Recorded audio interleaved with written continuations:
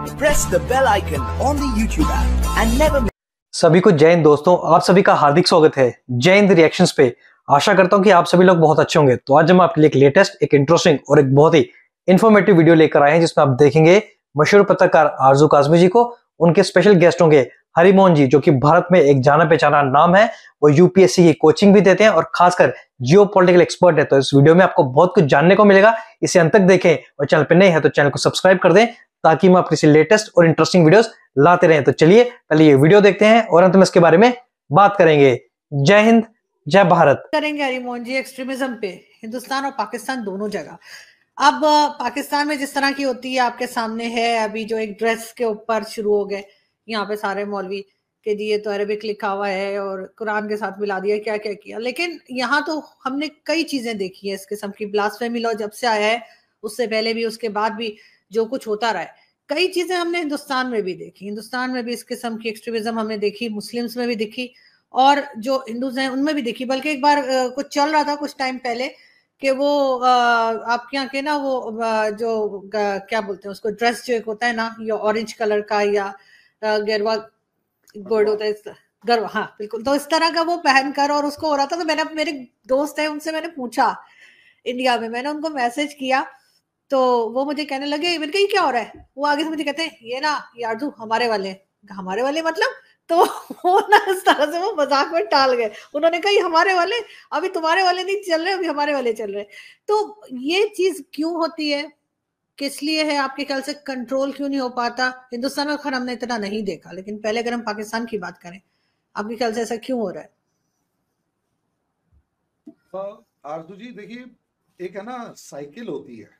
उस साइकिल हम्म। में एक टाइम ऐसा था जब दुनिया में लिबरलिज्म का जमाना था और लिबरलिज्म जो था वो किसी भी तरीके से शांति से प्यार से रहने के नाम पर दुनिया को प्रमोट करता था कि यार शांति बनाए हम्म। रखो टॉलरेंट रहो सामने वाले का रिगार्ड करो सामने वाले को एक्सेप्ट करो सब चीज़ें ये फिलोसफी चलती रही और कुछ भी लेकिन प्रॉब्लम ये आई कि दुनिया में एक चीज़ समझ में आने लगी कि इस लिबरलिज्म की वजह से रिएक्शंस ज़्यादा आ रही और लिबरलिज्म की वजह से असलियत में हुआ ये है कि एग्जिस्टेंशियल क्राइसिस दुनिया में क्रिएट हो गया जैसे हम आज के दिन एक्सट्रीमिज्म की बात अगर सिर्फ़ पाकिस्तान में करें या सिर्फ़ इंडिया में करें तो हम लोग बहुत गलत होंगे। किसी टाइम पर कराची के, वो सॉरी हम काबुल की अगर बात करें तो किसी काबुल को पेरिस ऑफ़ एशिया कहा जाता था। या पेरिस ऑफ़ कम से कम साउथ एशिया तो कह ही दिया जाता है जो काबुल इस्लामाबाद लाहौर तो भूल जाइए। दिल्ली हम्म। मतलब दिल्ली से लेकर पूरे के पूरे एशिया में इतना मॉडर्न सिटी कोई नहीं होता था जितना तेहरान और काबुल होता था। आज वहाँ हालात देखिए ठीक है। हम देख रहे हैं रेडिकलिज्म के नाम पर यूरोप भी जल रहा और यूरोप के अंदर भी, नीदरलैंड, डेनमार्क, स्वीडन, जब हम बचपन में पढ़ते या अपनी यूपीएससी की प्रिपरेशन में पढ़ते थे या दूसरे एग्ज़ाम्स की प्रिपरेशन में पढ़ते थे तो हम देखते थे कि इनके जो लिविंग स्टैंडर्ड्स होते थे, यहाँ जो सोसाइटी रहती थी, वो एक स्टैंडर्ड सोसाइटी मानी जाती थी कि हमें इस सोसाइटी के अकॉर्डिंग रहना है। अब हो क्या रहा है कि वो जो लिबरल सोसाइटी थी, वो लिबरल सोसाइटी ही एग्जिस्टेंशियल क्राइसिस से गुजर रही है। इस वजह से हमारी और आपकी और अफ़गानिस्तान की खासकर हमारी और आपकी सोसाइटी जो मिडिवियल एज से निकलकर मॉडर्न एज की तरफ़ बढ़ रही थी और वो कहीं ना कहीं लिबरलिज्म को सपोर्ट करती हुई नज़र आ रही थी, उसको भी अब लगने लग गया कि जब वो स्टैंडर्ड वाली सोसाइटीज अपनी एग्जिस्टेंशियल क्राइसिस से गुजर रही हैं तो इसका मतलब हमारे जो पुरखे या हम जो आज तक बात करते रही हैं वो बिल्कुल ठीक है। ये एज अ होल मैं उस लिबरलिज्म के अकॉर्डिंग बात कर रहा हूँ कि जो आपकी कंट्री में भी जियाउल हक से पहले लोग बात करते थे कि हमें लिबरल होना चाहिए, हमें प्रोग्रेसिव होना चाहिए, और जो हमारे यहाँ पर भी लोग अभी तक, यानी 2014 से पहले तक बात करते थे कि हमें भी लिबरल होना चाहिए। हुआ ये है सोशल मीडिया ने दुनिया में क्या हो रहा है, एक तो वो दिखाना शुरू कर दिया। दूसरी तरफ़, सोशल मीडिया ने हर वो चीज़ बताना शुरू कर दिया, हर वो चीज़ एलेबोरेट करना शुरू कर दिया, जो कोई भी बोल रहा है, चाहे वो स्टिंग ऑपरेशन की फॉर्म में आ रहा है, चाहे किसी भी फॉर्म में आ रहा है। इसे आप ऐसे देखिए। किसी मौलाना ने एक तहरीर दी। वो वीडियो वायरल होगी। ठीक है?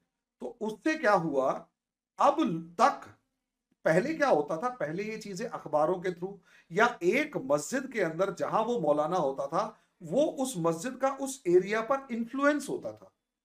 तो कहीं की अगर आइडियोलॉजी ज़्यादा लिबरल है तो वहाँ पर लोग आपको लिबरल मिलेंगे। तो वहाँ इस तरीके की प्रॉब्लम नहीं थी। एक आधा मौलाना कुछ थोड़ा ज़्यादा एग्रेसिव होता था तो वहाँ एग्रेसिव आइडियोलॉजी चलती थी। वो भी एक लेवल तक, क्योंकि एक मस्जिद के पास डेढ़ दो हज़ार लोग ज़्यादा से ज़्यादा होते थे। अब प्रॉब्लम क्या आई है? प्रॉब्लम ये आई है कि हर चीज़ रिकॉर्ड हो रही है और हर चीज़ विदाउट एनी रिस्ट्रिक्शन सबके पास मौजूद है।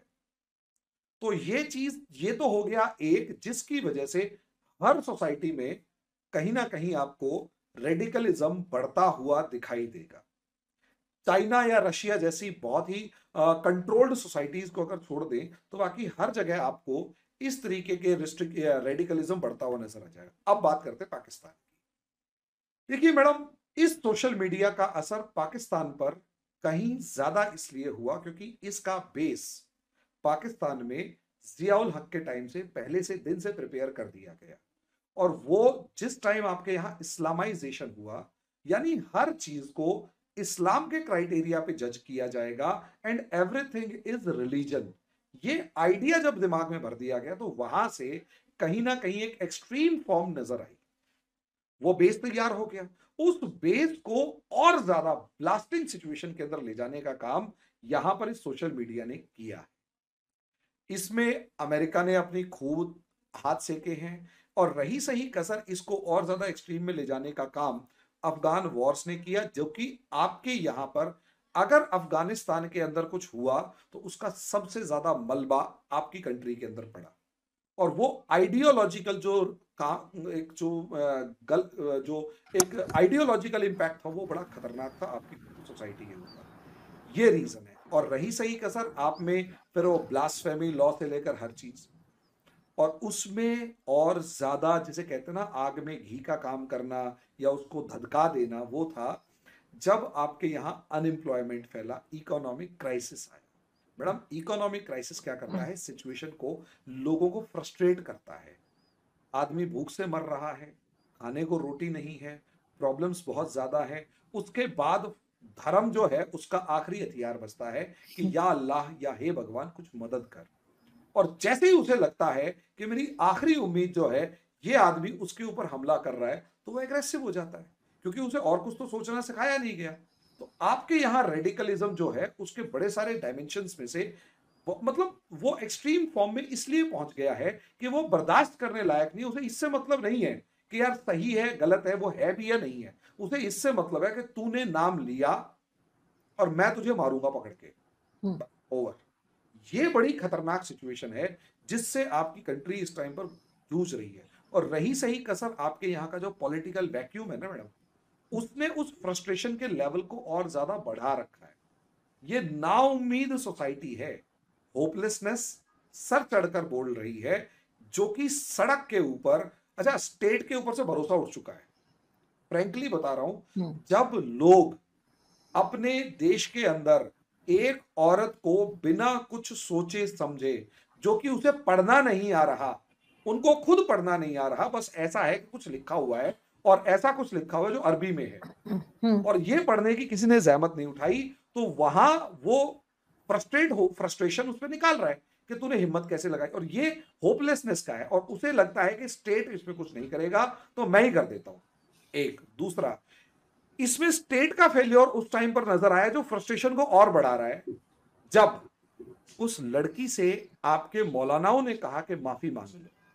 जबकि उस मौलानाओं में इतनी हिम्मत नहीं थी कि अपने लोगों को बताएँ कि भाई ये लड़की गलत नहीं है। इस लड़की ने जो कपड़े पहने उस पर वो शब्द लिखा है इसका मतलब है हलवा या सुंदर या जो भी हम्म। आप उसे ट्रांसलेट करें।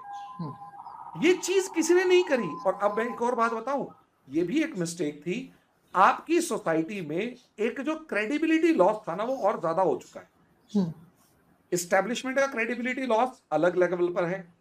पॉलिटिकल सिनारियो बिल्कुल बर्बाद हो चुका है। पार्लियामेंट के अंदर लड़ाई झगड़ा जो दिखाई दे रहा है वो फ्रस्ट्रेशन का एक नतीजा है पार्लियामेंट में दिखाई। और सड़क के ऊपर दिखाई दी वो भी एक फ्रस्ट्रेशन थी। लेकिन जब जिन लोगों ने ये देखा होगा कि जो लोग सर तन से जुदा के नारे लगा रहे थे वो गलत लेवल पर लगा रहे थे तो क्या और किसी ने उन्हें बताया भी नहीं तो क्या उन्हें अपने ऊपर खींच नहीं आई होगी कि यार हमने गलत आदमी का साथ दिया?